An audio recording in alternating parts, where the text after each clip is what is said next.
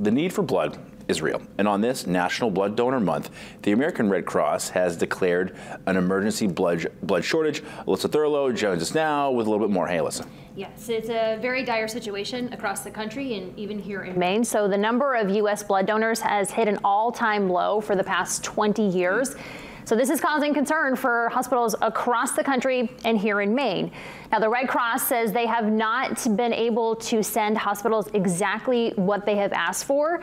Now, while the shelves aren't empty at hospitals here in our state, they have not, they have rather not started postponing procedures, but we're told that could be on the horizon. It's a scary thought, really. Yeah, Did you think sure. about that? You know, you yeah. think about a surgery, and I think we got some video of, of this whole thing, uh, what you're talking about here, but you, you got you think you're going in for surgery, and all of a sudden, yeah, we can't do it because we don't have blood right. for you. Well, you don't, yeah, obviously when you go into a procedure, you don't think, hey, there may not be any blood on the shelf. That's just not something you really typically think about. Right. So every two seconds, someone in the U.S. needs life-saving blood.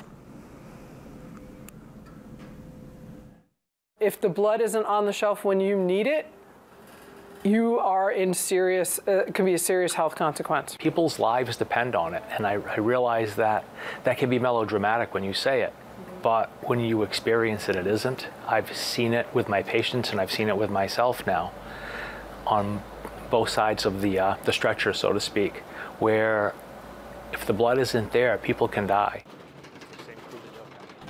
Now that we just heard from Ed Morsehead right there, he lives in Carmel. He spent decades as an EMT and paramedic. Seven years was spent with a life flight as a paramedic. So you can imagine they obviously mm. carry that life-saving blood. So he's seen firsthand the need for blood donations. We'll hear more of his story coming up tonight at six. But Here's how you can roll up your sleeve and help. From start to finish, the process to donate blood only takes about an hour. Let's see if we can pull up the numbers here. You can book an appointment now by using the Red Cross Blood Donor app or by visiting redcrossblood.org or you can call the number on your screen there 1-800-733-2767.